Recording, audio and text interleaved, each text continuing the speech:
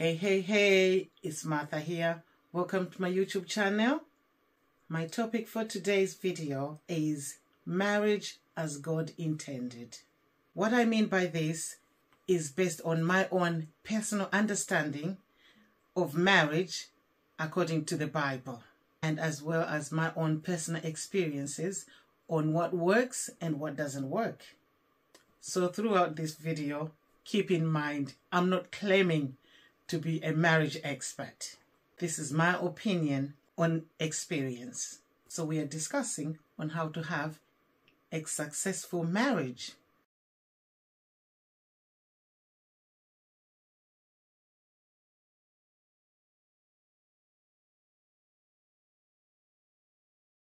A successful marriage is a result of applying knowledge and understanding.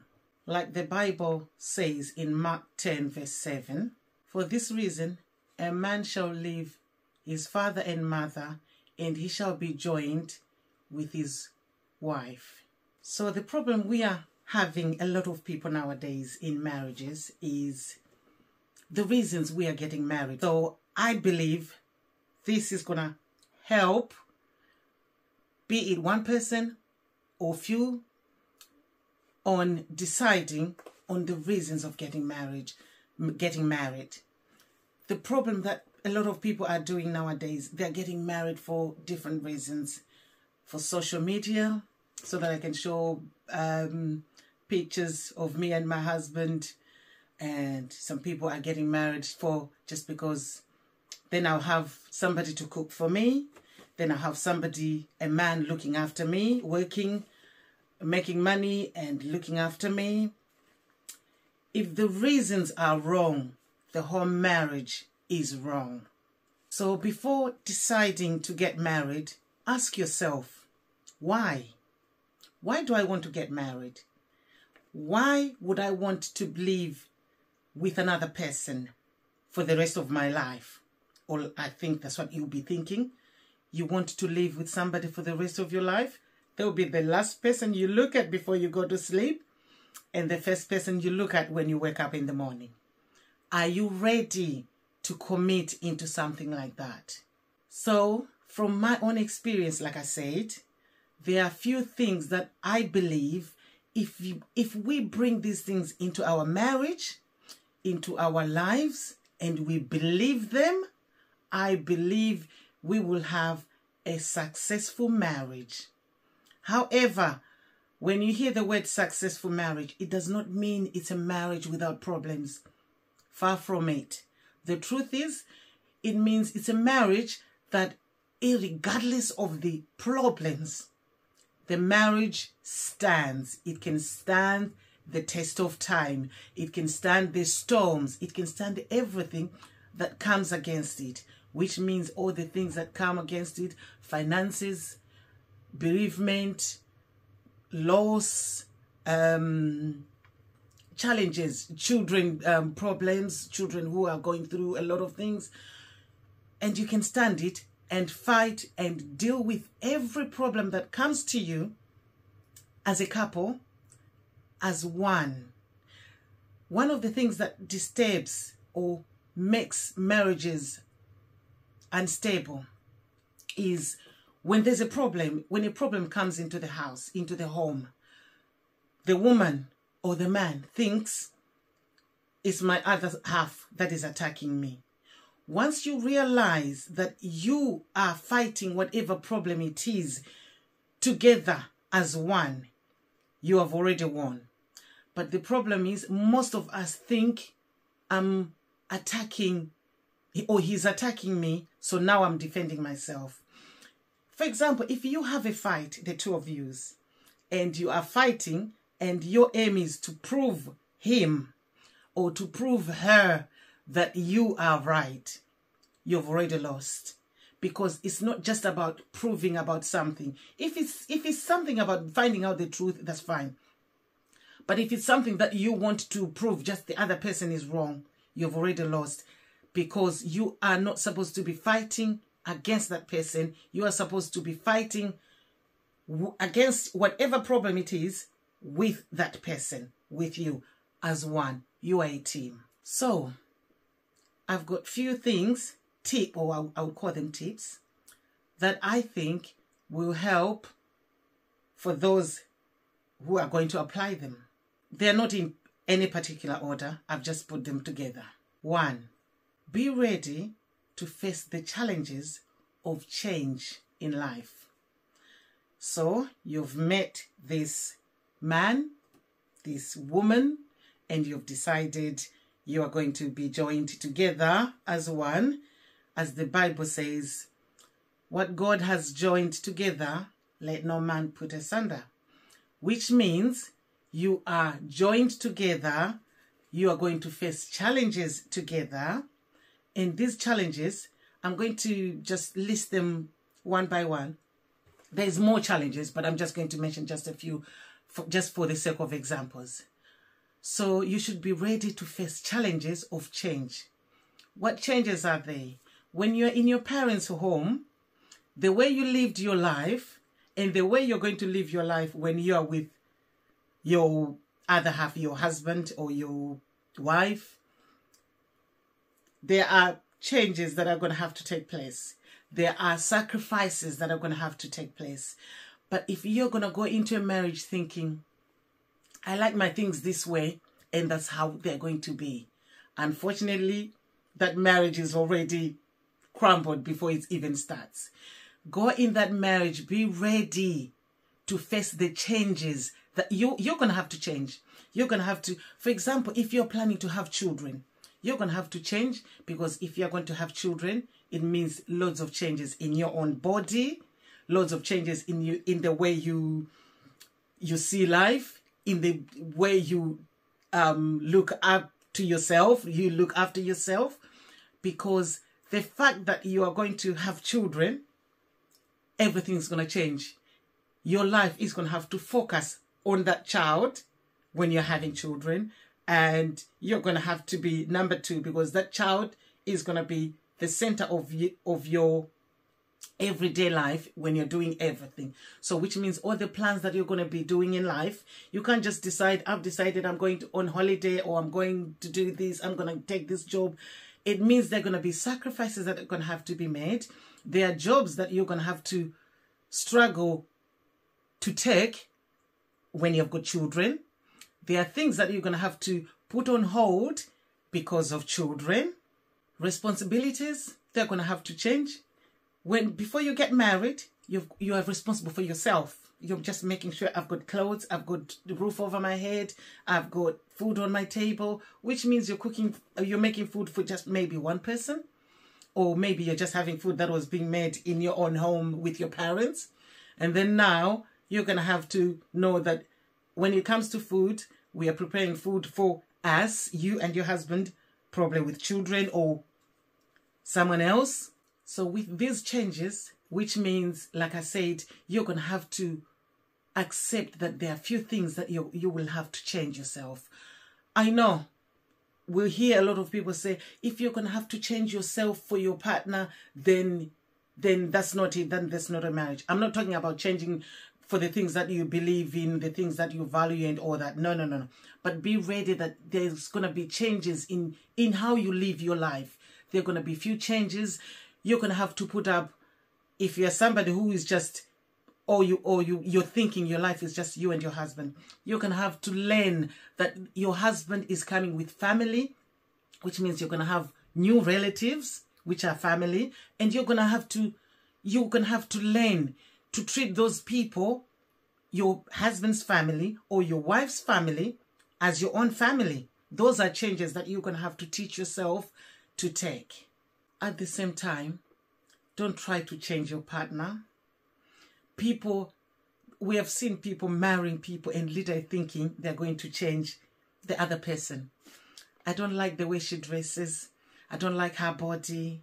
I don't like um, everything about her is nice, but I don't like her hair. I don't like how she carries herself and all that. But anyway, once we get married, I'll, I'll change her. Unfortunately, if that's what you're doing at the beginning of the marriage, that marriage already has crumbled. This is the problem because don't marry. Only God can change a person. You cannot change a person, no matter how much you try, no matter how good you think you are, unless you're a psychologist. Then maybe, uh, like um, a therapist or somebody, that you're gonna have to change the person. But even therapists don't change people; they just help people. So you're not their psychologist. You're not going to change that person. You will have to love whatever it is. You will have to love and accept them the way they are. Because for a start, you've got into, you've decided, like I said, what are your reasons for getting married? Have they ticked all your boxes? Let's let's admit, all of us, we are with people that they probably ticked 10 boxes out of the 12. And the other two, you're thinking, yeah, these other two, I'm going to change them when we are together. Unfortunately, that doesn't work. We have seen people failed to change the other and then they end up in divorce, unfortunately. Because if you think you're going to marry somebody and you're going to change them, unfortunately, newsflash, it doesn't work. You cannot change a person. If you don't like their dressing, you're falling in love with them. At least I think you have. You're falling in love with them and now tomorrow you start, oh, I don't like the way they dress. I'm going to, unfortunately, no, that doesn't work. Accept them the way they are. So that tip will be followed by accept the things you cannot change. Which means you you the other half that you marry. You know, a lot of people say, oh, you know about a person. I, I know a couple that went out for 10 years and they got married and within the first year unfortunately they got divorced. So the things that you're going to find out when you're married newsflash there are things that you're going to be finding out and you'll be like i didn't know they were like this. I didn't know they do this. I didn't know they snow. I didn't know they uh, mouth breather i didn't know that these all these things you didn't know but maybe at that time because you're wearing the blue glasses. You know, when you're in love, when they say love is blind, you were wearing those glasses. So even when they did those things, they showed you those things, you chose not to see them because of love. Unfortunately, when you discover them when you're in, in, in the marriage, you have to accept them and accept that you're going to live with them. I'll give an example. I, I talked about um, the clothes. If you don't like the way they dress, if you plan to change the person, or if your plan is, oh, I don't like the way they dress, by accepting what you cannot change, you lessen your expectations. Then you're not expecting too much from the other side. The problem we have is we expect too much. We expect the other person to make us happy. Our happiness is not in them. So by expecting them to be this person, unfortunately, if we discover tomorrow they are not what we thought they are, that's it. That will be the end of the, the marriage or that will be the start of the problems. So accept what you cannot change which means you you will find out things. For example, my husband marries me. In his world, he's surrounded by women cooking and cooking good food.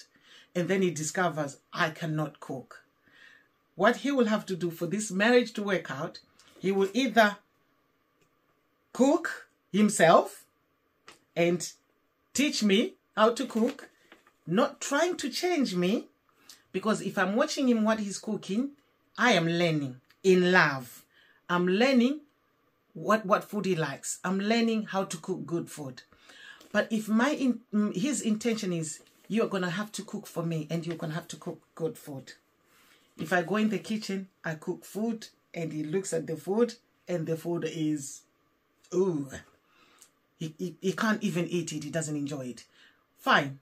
Maybe at the beginning when you're in the honeymoon period, he's gonna eat it and eat it, and then third day, fourth day, and a month, and then after the honeymoon period is gonna come to an end at some point, and when that honeymoon period is finished, he's gonna start telling me off. I don't like your food, and oh, and then the next thing I'll be like, but you've been eating it and you've been telling me it's nice and all that.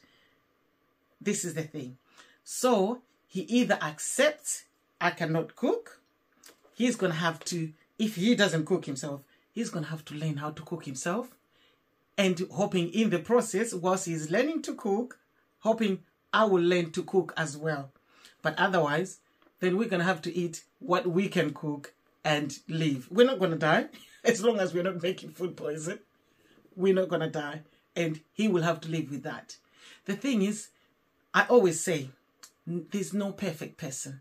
So if you are thinking, I'm marrying this woman, she's gonna cook, and you look at her, she dresses well, she everything is top notch, and then you're thinking, but she can't cook. Accept that. You're not settling. I know most of the times people are going to say, oh yeah, yeah, you don't have to um change yourself for the other person and all that. You're not changing yourself. There are some things that you can do without. There are some sacrifices you can do without. As long as you're not killing the inner you, you can live with some sacrifices that you know you're not going to die. And you know what? There are lots of people that started at a position where they think, I'll give the cooking one as an example. There are people who started together and maybe the wife could not cook good food. But after a little while, people have sent their wives for um, cooking lessons. Nowadays, there's YouTube know how. YouTube will teach you everything. Together, in love. You know, tell each other, you know, let's try to cook this. Let's try to do this. And before you know it, you are all enjoying preparing food nicely and you haven't lost anything and you haven't lost your marriage. If anything, you've gained. Another tip express love, affectionate, and appreciation to each other. This is one of the things that um, mostly our African men and African women, we struggle to show affectionate. We are not, we, we were raised when we were growing up, we would see even your own parents, you don't see them kissing. Most, most of my African people, you can agree with me. You don't usually see your mom and dad kissing. Nowadays, we see them kissing all the time. But when we were growing up, you don't just see them kissing and all that. But they will be kissing. Doesn't mean they're not kissing, but they're just not because they're not showing it where, where in, in front of people or in front of um in public. And then you're thinking, oh, they used to have this thing of if you show a woman you love her so much, yeah, she's gonna she's gonna take you for granted yeah, there's this thing she's gonna take you for granted. Or if you show the man that yeah, you're you he's your all in all, he's your everything, then it means he's gonna take you for granted. That is so wrong. If he's gonna take you for granted, whether you show him or you don't, he's gonna take you for granted, unfortunately. You demand how you get to be treated, which means if you treat him with respect, if you treat her with respect, and you love them believe you me, they're going to respect you. So, love, make sure you are expressing the love for one another. I know somebody's going to say, oh, I've been married 50 years. I've been married. So how can you, what can you teach me about um, showing love for one another? Showing love for one another, it means sacrificial. The Bible says, man, love your wife as I've loved the church. God died. Jesus died for the church. He died for the church, which means, man, we're expecting you to die for us. Be ready to die for us. How are you dying for us? Which means you're not, you know, um, there's this saying, they say, a real woman can do everything, but a real man is not going to let her, which means a man who is always ready to do, to cover, to protect, to provide for his wife. I, please don't get me wrong. I'm not saying I need to sit at home so that my husband goes and works and everything. But a man who makes sure the wife, the home, the children are well provided, they are well protected. A man who makes, you know, there's um somebody said, man, man needs respect, a woman needs protection. So if a woman need, feels protected, loved, covered by her husband, believe you me, man, you will be surprised what you can get out of a marriage. And women, they say a man needs respect. That's all they they strive for. Respect. If you respect them, believe you me, you'll be surprised what you can get out of a marriage. There are things that we think they're old fashioned. But the truth is, as much as we would want to make them old fashioned, if they are from the Bible, they are not old fashioned. The Bible is not old fashioned. The things that the Bible teaches us to do in a marriage, believe you me, they were, the marriage itself was ordained by God. So he's the owner, the person who started this marriage thing. He's the one who suggested, he's the one who created man and woman so that they can live together. He's the one who is going to tell you how you're going to live together. If you have got a microwave and it's just taken out of the box, if you're not going to read the manual, believe you me, all you're going to use that microwave is to warm food and that's it. If that is you're going to be able, you might not even be able to know where to press, which buttons to press. Whereas if you read your manual, which is the Bible, if you read your manual, you're going to enjoy lots of things that you're going to use that microwave for. You're going to find out that you can do baking, you can do roasting. There are lots of things that you can do, but you can only find out all those things through reading the manual, which is your Bible.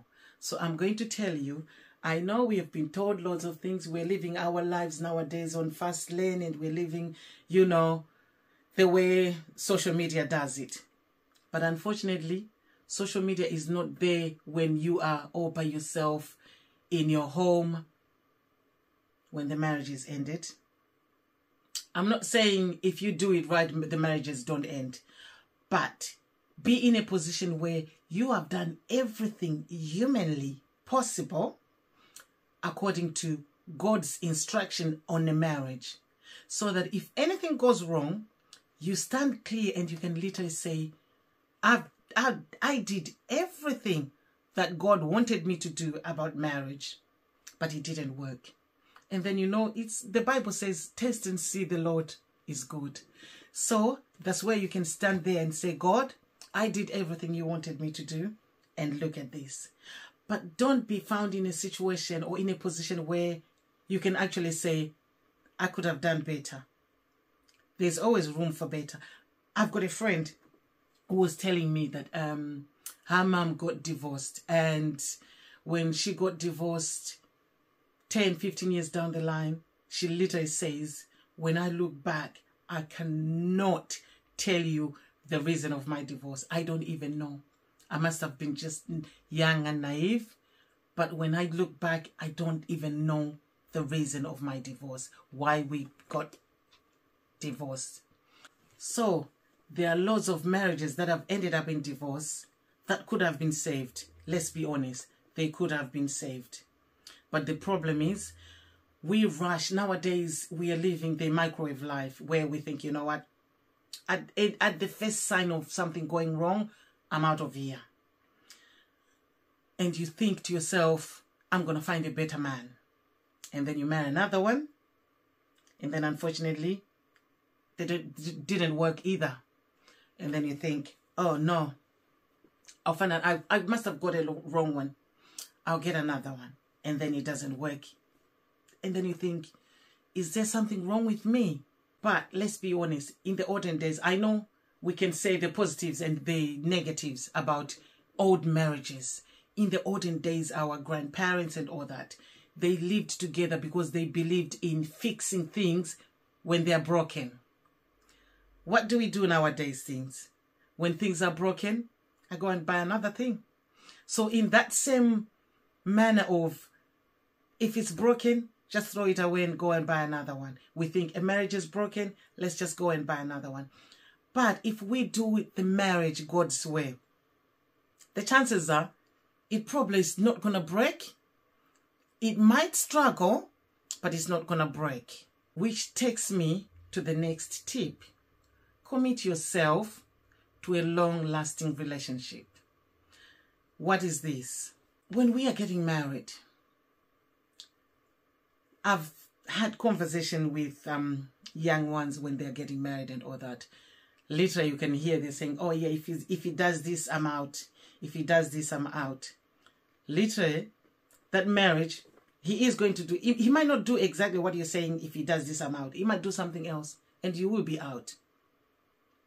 So, if you go in a relationship committed to a long lasting, a forever lasting marriage relationship, believe you me, you are going to work hard for that. I remember having a conversation with my friend years back, and I remember saying to her, Marriage is hard work. A successful marriage is hard work. And I remember saying, I don't see how you can call a marriage hard work and all that. But the truth is, a successful marriage takes hard work, which means there's going to take a lot of forgiving, there's going to take a lot of sacrifices, it's going to take a lot of challenges to a point where at some point you're going to feel like this is not worth it. But believe you me, anything that is of value is worth fighting for.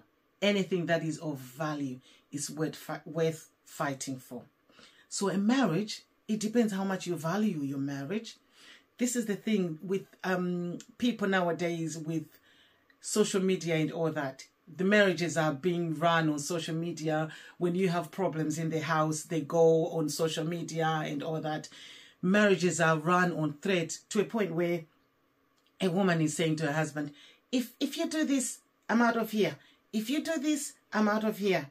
And then the man is saying, Yeah, if you don't iron my trousers or if you don't do this, you'll be out of here. If you do this, you you pack your things and go. That's not a commitment to a relationship.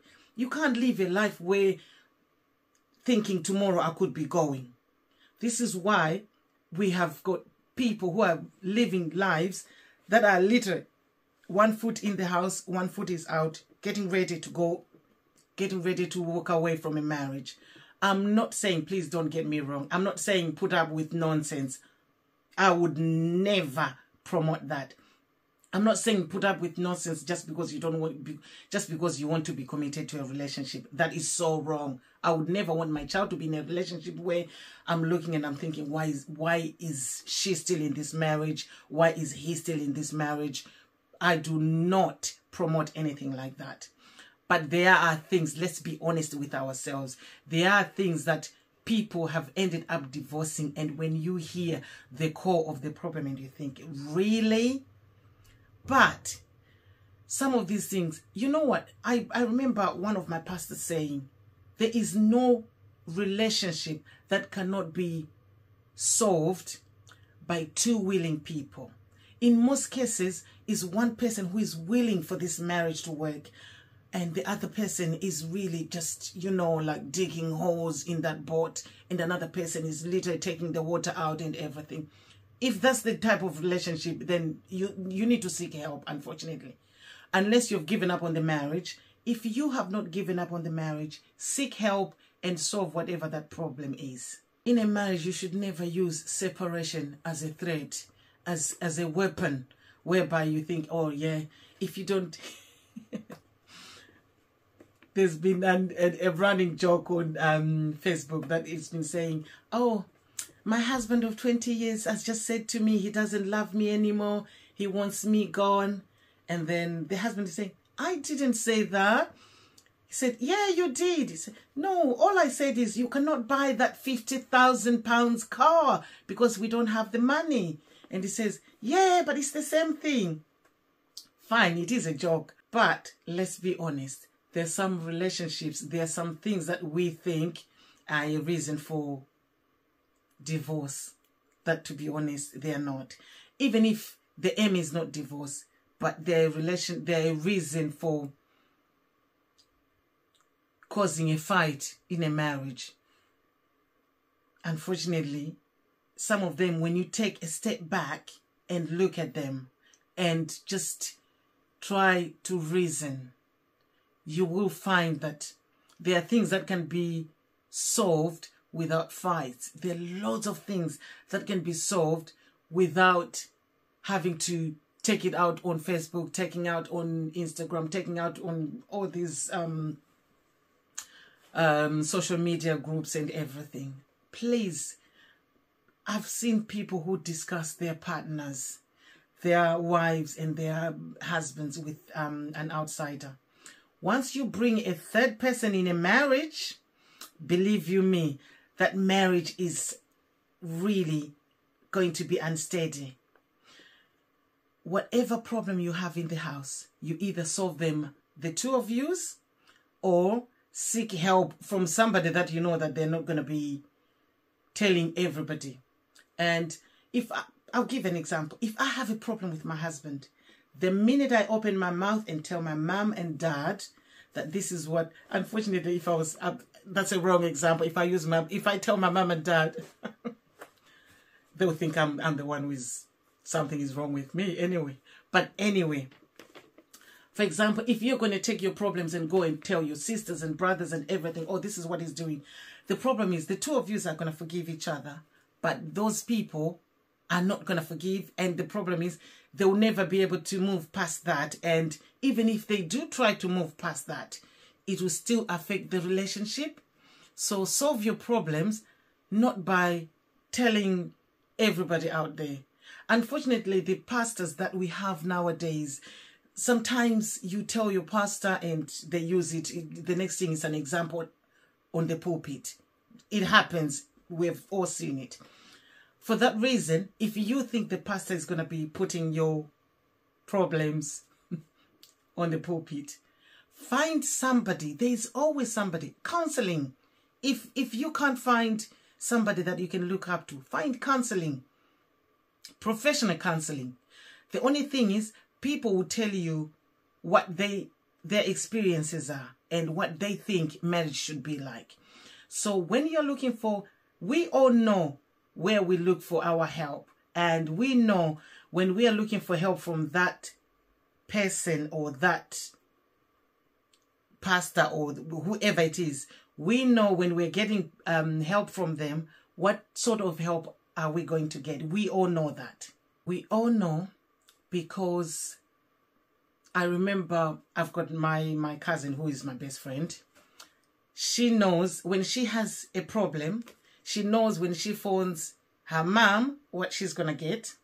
And when she phones me, she knows what she's going to get. And when she phones, you know, when you're phoning somebody, even myself, whenever I have a problem, when I phone her, I know what she's going to say. And when I phone my own sisters and my own brothers and that, I know what I'm going to get. We all know.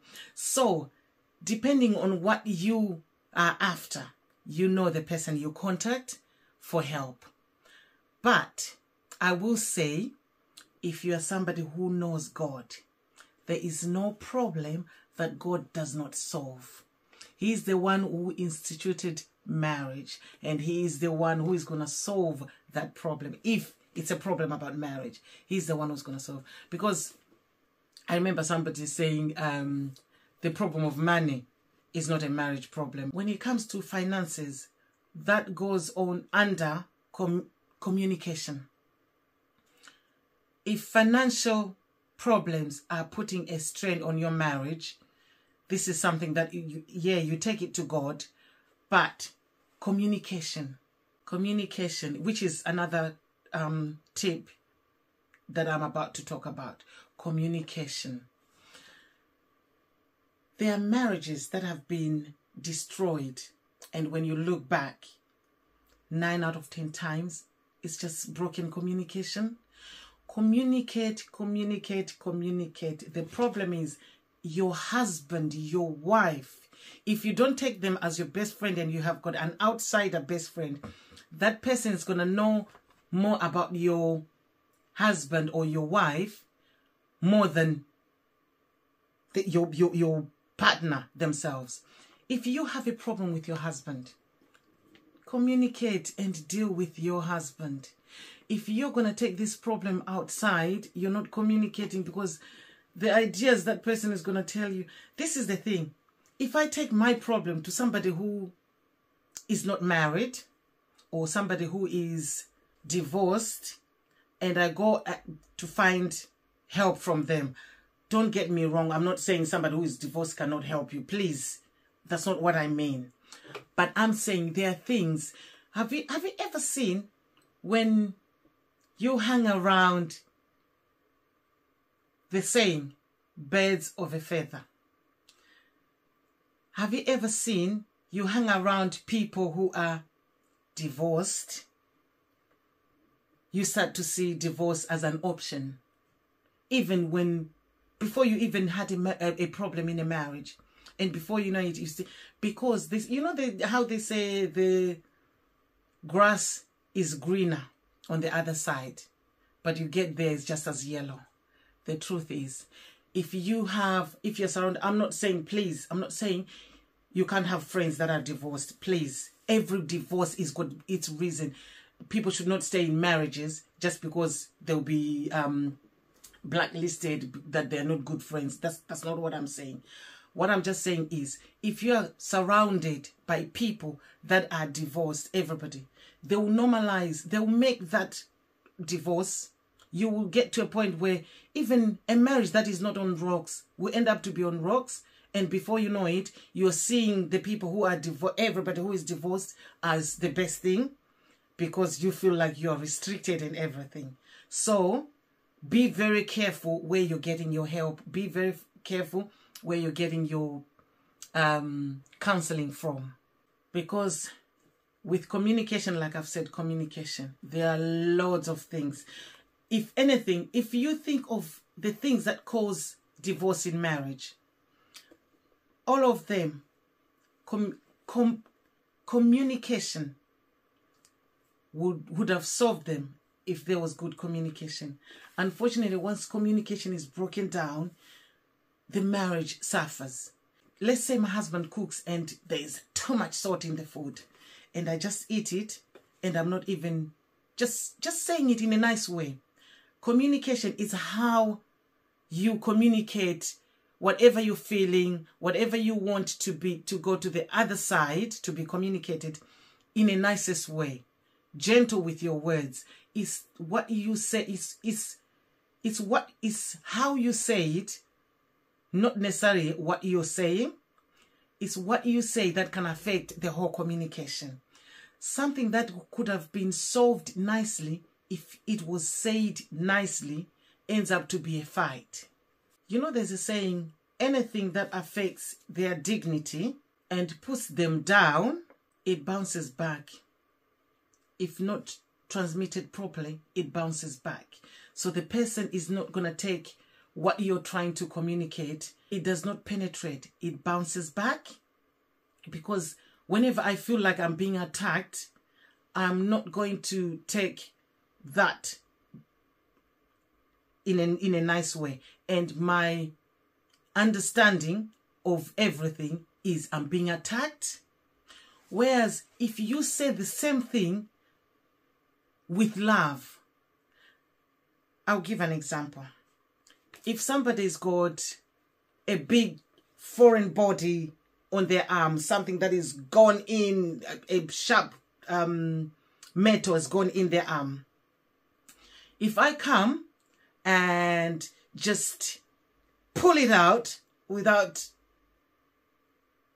any anesthetic, I could kill them with pain. So the problem with that is the very thing that is supposed to be helping the person, if done wrongly, it can kill.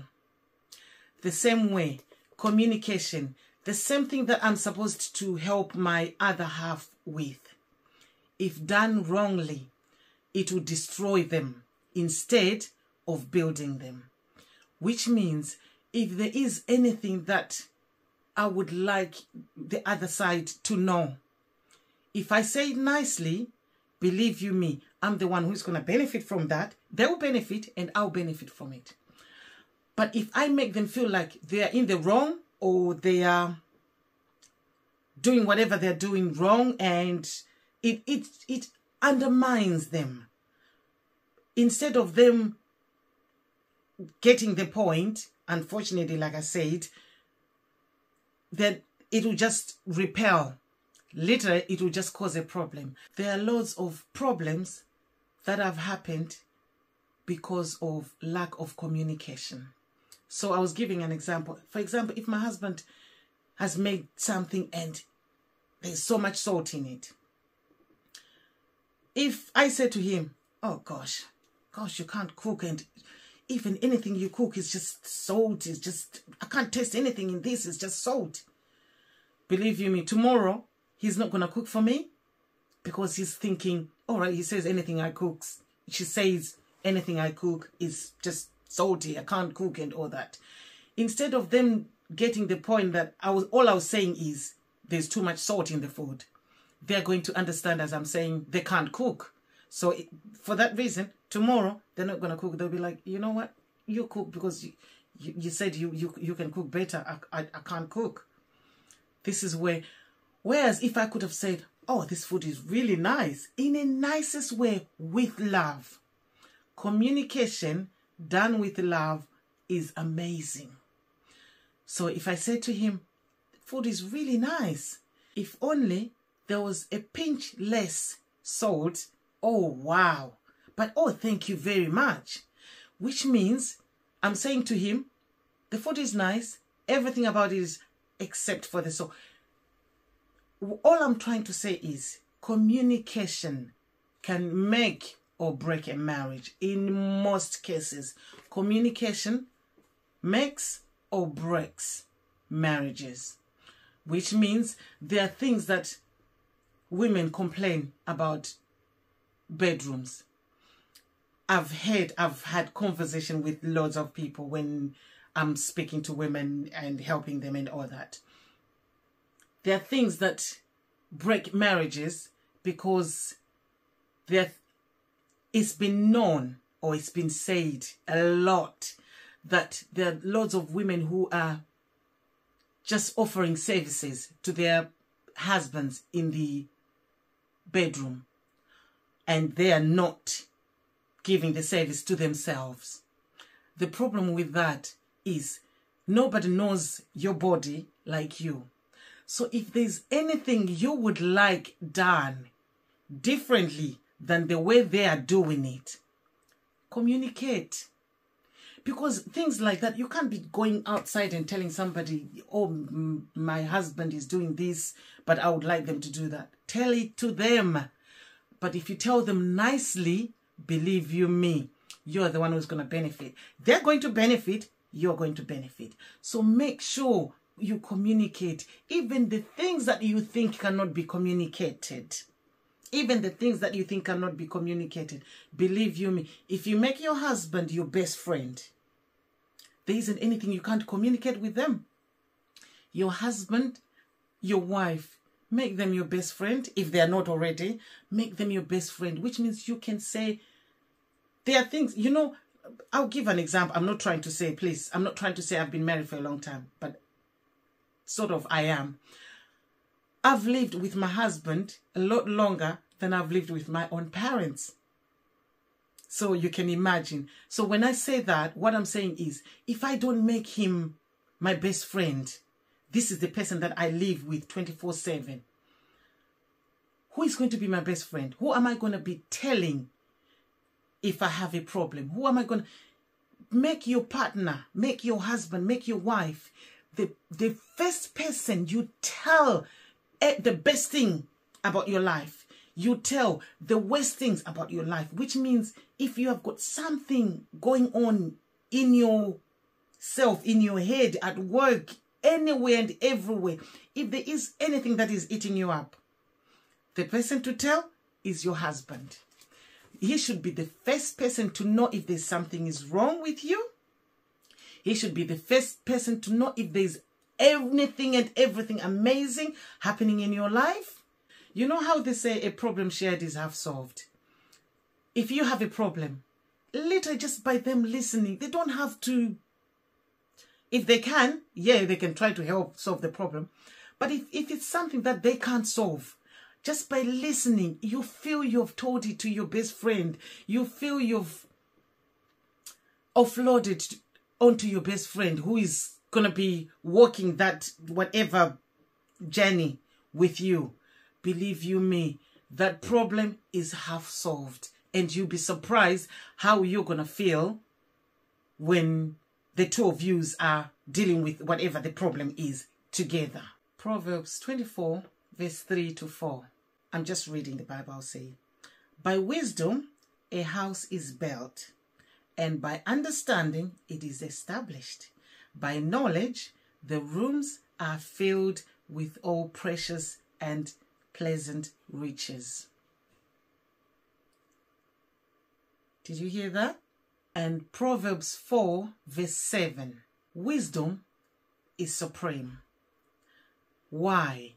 First, we need to understand what wisdom is. The Bible says, get knowledge, get understanding. When you get knowledge and you get understanding and you apply it, that is wisdom. Because there are doctors who know a lot about how bad smoking is, how bad drinking is, how bad um, eating unhealthy is.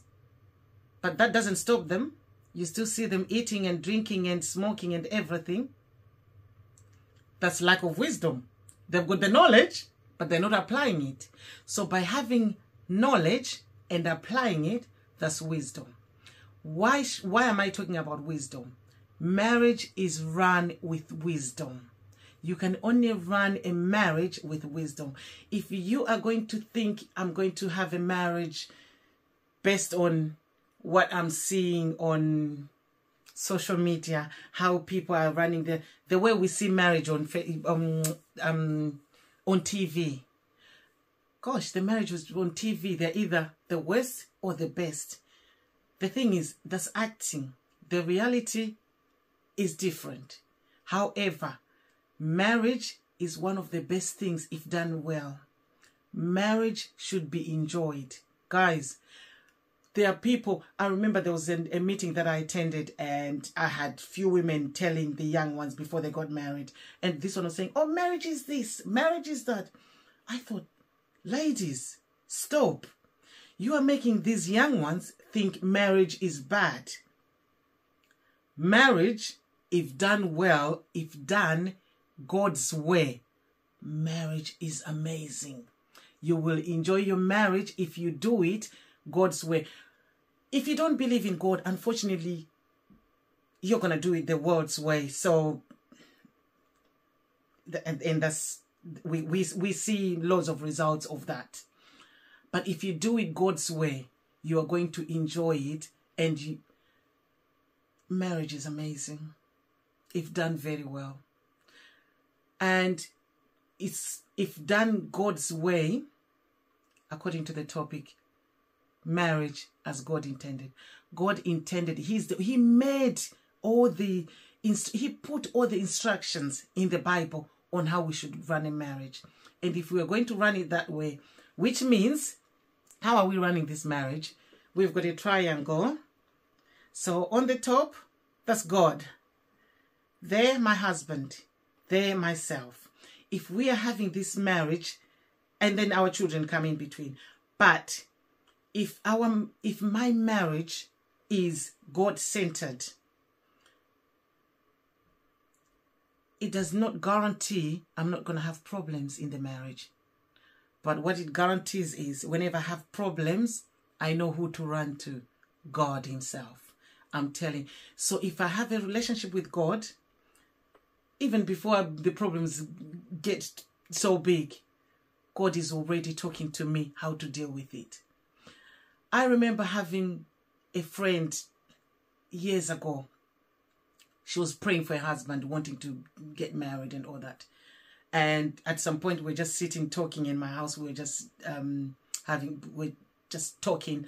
And I remember her saying, Oh, I can't live with a person. I like to live my, by myself.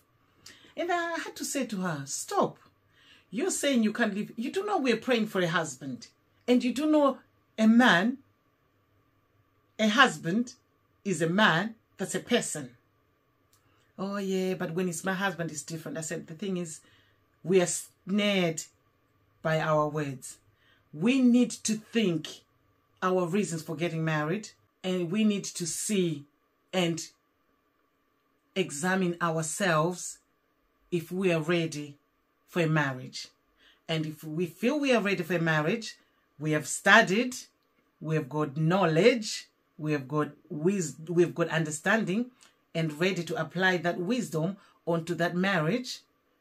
Believe you me, we are going to enjoy the marriage, a lasting marriage of which God says, till death do us part, which means you'll be separated by death.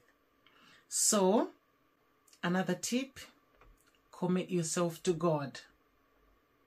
So, this ties with exactly what I was just talking about before. Like I said, um, if your marriage is God centered, you're going to enjoy your marriage, and everything that you do will be what God intended for a marriage, nothing outside of marriage talking from my own experience, I don't believe men and women can be best friends if one person, if one of those person is in a relationship. I'll give an example. If I am married, I cannot have a man as a best friend or as a friend, as a friend, which means I've heard somebody say, and it's true, I believe it's true. If you are in a relationship as friends, one of the two is lying to the other. When we are in a relationship, which means you've got a wife, you've got a husband, we need to be careful the friends we have outside the marriages. They can make or break a marriage. So be very, very careful. Not everyone is in that relationship for the reasons that you think they are. So be very careful when you're making friends with people of the opposite sex. Because some of them could be just waiting for that day that you're vulnerable and they're ready to pounce. And before you know it, you're finding yourself thinking the things that you shouldn't think, which means you jeopardize your marriage. You can put your marriage on the rocks just because you're maintaining friendship with people of the opposite sex. When I talked about communication, women, we tend to have a weakness in somebody telling us nice things. Tell your husband to be telling you those nice things. If there's anything you would like to hear from a man, he was telling you when you before you get married. So why should he stop now? If he stopped, ask him. Why is he not telling you that? The woman, you remember on one of the tips when I talked about um, show aff- affectionate uh, appreciation, which means appreciate your husband, appreciate your wife. There are things that we tend to take for granted. The same way sometimes we forget to thank God for what we think are small things until those things are, take, are taken away from us, then we realize they were actually big things. The same thing with a marriage. If you don't appreciate your husband, you will realize that all the things that you forgot to appreciate them for, they were actually big things. When he's done something, thank him, appreciate him, praise him if he's doing good things. We have got a problem of thinking he is supposed to do it, it's his job and all that. In my house, we we've just trained um, children to uh, thank for food. I mean, not giving grace as in after food to think, oh, thanks. If mom, if mom prepares food, they need to learn to say, oh, thanks, mom, for the food. It was nice. Thanks, dad, for the food. Same thing. the same thing, everything that your husband does. If your husband does something, if your wife does something that is even expected of them, they are expected to cook for you, they're expected to iron for you and all that. But when they do those things, appreciate them. You will be surprised. There will be more where that came from. Normally, as human beings, we thrive on when somebody um, says nice things to us. For example, if you give somebody, if you make somebody a cup of tea and literally they thank you like you've literally gone out of your way to do something, you you literally look what what else can i do for this person? You want to do more for them. So when somebody is grateful you want to do the same way we are to god. When we are grateful to god believe you me we get more blessings. For everything that we think is small we when we are grateful we get more. The same way to the to your other half to your husband to your wife. When you are grateful you get more. So learn to appreciate we tend to magnify when they have done something wrong. You have done this, you have done this, and all that. You know, the Bible says love covers a multitude of sin.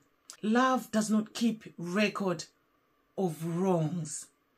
You know, you get to a point where you're thinking, hey, yeah, last year you did this. You know, five years ago, that year you did this. You. No, you don't keep records you you've got records of the wrong things they've done. Have you got records for the of the good things they've done? So, if you are in this marriage committed for it to last forever, you're not going to keep records of the wrongs. Because if you're keeping records of wrong things, you are standing on a pulpit saying you are standing right it means you don't do anything wrong. Because if you're going to keep records of the other person doing something wrong, you should keep records of you doing wrong as well. So there's no way you're going to be having a marriage thinking only the other person does wrong and you're not doing anything wrong. That is wrong because you both at some point are going to wrong the other person. And forgiving is the glue of the marriage. Communication, forgiveness. Because at some point they're going to do something and that you're thinking, oh my goodness, how dare you did this and all that. Communicate, deal with it, forgive and forget. Leave it in the past. Don't keep bringing it up.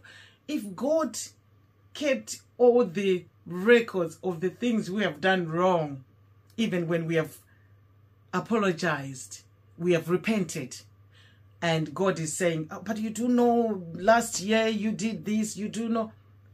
We, we wouldn't be standing, we wouldn't be where we are. So, for that reason, if God compared his love for us to the same one as the one in the marriage, let's thrive to do the same, which means even when it's wrong, we on marriage, isn't we say, for richer, for poorer, in sickness and in health, which means there's going to be time in, in, in, in the marriage where things are going to get really difficult. There's going to be sickness. There's going to be financial problems. But if at the first sign of those things, we think, yeah, this is not working, I'm out of here. Unfortunately, we're to end up getting married about 10, 15 times because problems are part of life, which means whatever you when what you run away from one marriage, you go to another. Unfortunately, you're going to face the same thing, and if you don't know how to deal with it, you won't be able to deal with it. So when we say get understanding, get knowledge, and apply it, which is wisdom. When we get understanding and apply, which is wisdom, we will understand how to live with a human being, which means we will understand a woman, we will understand a man, We'll understand children. We will learn how to handle emotions.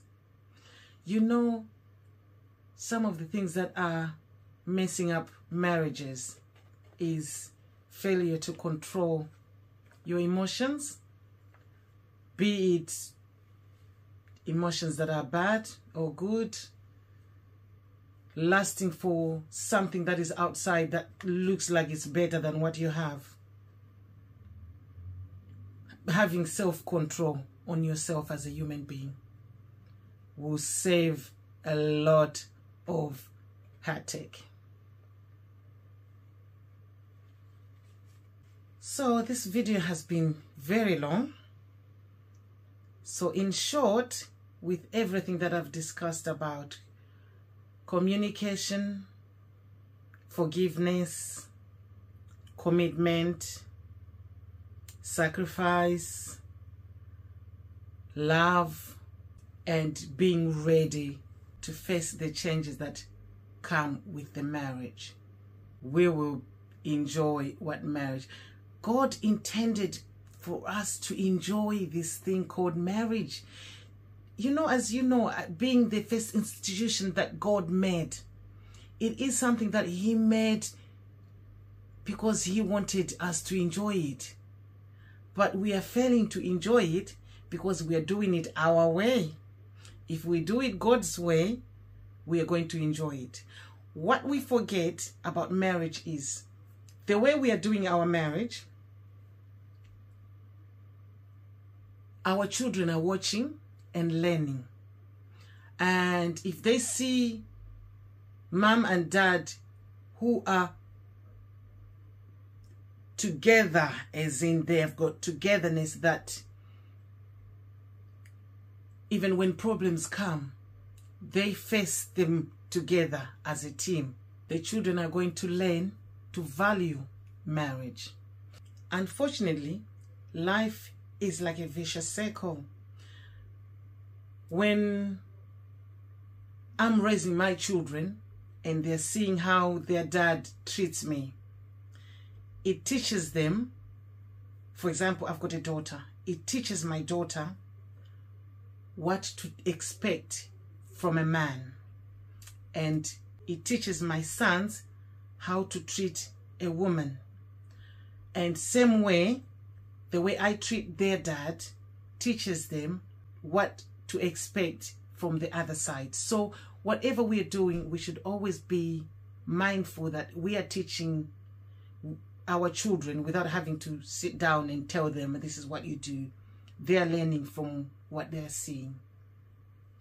So, you know, they usually say children and a marriage, they're like flowers. Like they're like a garden of flowers. They'll reflect everything that they're getting. Which means if I'm working well on my marriage without even having to teach my children, they learn a lot from just seeing us. Which is why, don't get me wrong, I'm not trying to sound judgmental. There are children that are out taking drugs and doing in the streets, living life in the streets. Most of them, you will find it's not just about poverty. Some of them, yes, but some of them, it's not because of, of poverty, but it's just because they're coming from a home that is broken. So if I'm living my own life, but I'm living with my husband, but I'm living my own life, and my husband is living his own life and all that. Believe you me, the people who suffer in that are the children. And you know what? Their way of dealing with it, they take it out to the street and then they go and live their lives in the streets. They're doing drugs and everything. I'm not saying children who are coming from a well together family don't do these things. Unfortunately, sometimes they do. But rarely do you see kids who are coming from a well-standing home because I don't want you to say um, or to understand me like I'm saying when kids are coming from a broken family, it means they're going to be broken. That's not what I'm saying. But unfortunately, in most cases, when the families are broken, we break the children as well. So if you take anything today, take the fact that a marriage was meant to be enjoyed. There's no marriage in heaven. Marriage is down here on earth. So you get into that marriage, enjoy it, do what God expects you to do towards that marriage, and enjoy the fruits of it. And may I also add, play together. This means take some time from the business of the world, from work, from everything that keeps you busy. In these days, we are always busy. Learn to take some time off where it will be just you, your wife, children, and just have time together where you continue. I know you bond in the house, but just time away from home. It doesn't have to be an expensive holiday. Anything that's going to take the family away from the business of every day and just love on each other, pay attention to each other, and remind each other what it is like to be a family and just enjoy. Pray together. They say a family that prays together stays together. So teach children to pray. Teach children God. Let them know God for themselves. And learn to pray together as a family. On top of this, the two of you as a couple learn to take some time off from family, from the children, from everybody. At least, they normally say at least twice a year. If you can do it more, even better. Where you have just time for the two of you, reminding each other what it is to be just you as a lover, you as the, the other half, not just as so and so's mom or so and so's dad, but just being the two of yous paying attention to each other and forgetting everything else about the world, about life, about everything, and just loving on each other. Every now and then, when you do this more often, you remind each other what it was like, why you fell in love in the first place. It's really a good idea. So I would actually advise that you do this quite often. Thank you. So please like, comment, share, and please tell me what you think I've forgotten I could have added or what you think I added and you didn't like.